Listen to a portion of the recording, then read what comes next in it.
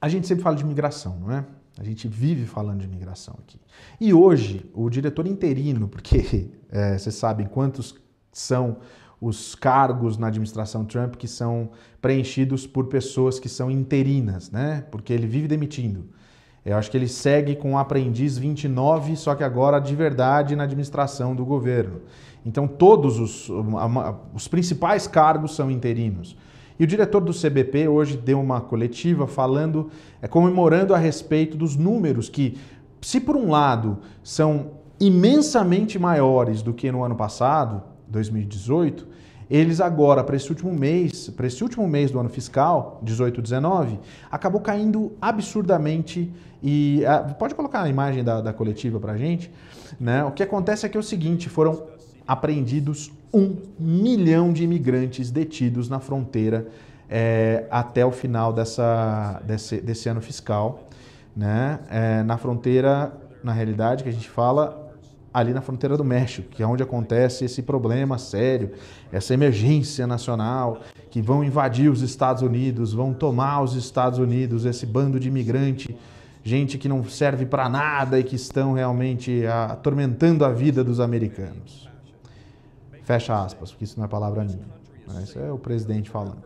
Mas aí o que aconteceu é o seguinte: ele deu algumas informações que eu acho que vale a pena a gente dizer aqui. É o seguinte: 71 milhas de muro foi, foram construídos até agora. Para três anos, né? Quem falou que ia construir, sei lá, quase 500 milhas de muro? Tá bom pra caramba, tá muito bom. 71 milhas.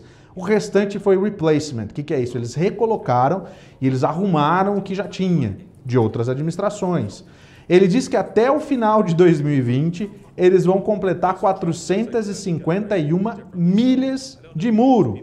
E disse, e disse também que, de acordo com a pesquisa, junto aos, é, aos é, é, integrantes, né, aos policiais, o muro, o belo muro, como ele mesmo disse, é muito importante para que os policiais de fronteira possam fazer o seu trabalho com mais segurança. Um outro detalhe também que ele deixou claro que a dificuldade maior em construir um muro é justamente de é, passar por terras que não são do governo.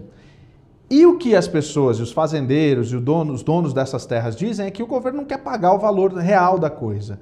Então essa, é, eles esbarram nessa negociação e existe sim um problema sério para a construção desse muro. Vai construir um muro? Vai. Com que dinheiro? Do Pentágono. Perguntaram para ele quando que o México vai pagar pelo muro. Ele falou: não, o México na realidade está ajudando a gente com o MPP, que é o é, Migrant uh, Protection Protocol. O que, que é isso? É aquele, aquele protocolo em que as pessoas vêm para cá, daí eles falam: parou, você não entra, volta para o México, espera lá. Eles pegam aqui, preenchem, fazem o o, o, o, todos os dados, fazem o processo de imigração e essas pessoas têm que voltar para o México para aguardar. Sabe quantas mil pessoas estão aguardando na fila os, é, é, os, os prazos da corte americana para que eles possam ter uma noção de que eles podem, na realidade, passar do México para cá? 51 mil pessoas só no último levantamento.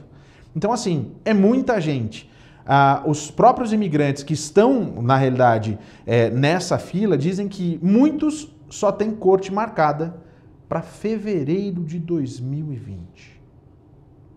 Então, assim, se comemora por um lado, porque do mês de maio, que foi o pico na apreensão de imigrantes, de famílias, de crianças, é, porque o pico foi em maio, agora no mês, no mês subsequente, no mês de julho e agosto, o, o, o número diminuiu 65%, o que é muito, e eles comemoram dizendo que foi justamente essa política de imigração do governo Trump que fez com que diminuísse para quase é, é, o índice do, do, catch and release, praticamente zero, por isso que eles disseram que acabou a prática do catch and release, que é o tal do cai-cai, que muito brasileiro acredita que é a melhor forma de migrar. Para! Não é! Mentira! Se alguém te falou isso, manda prender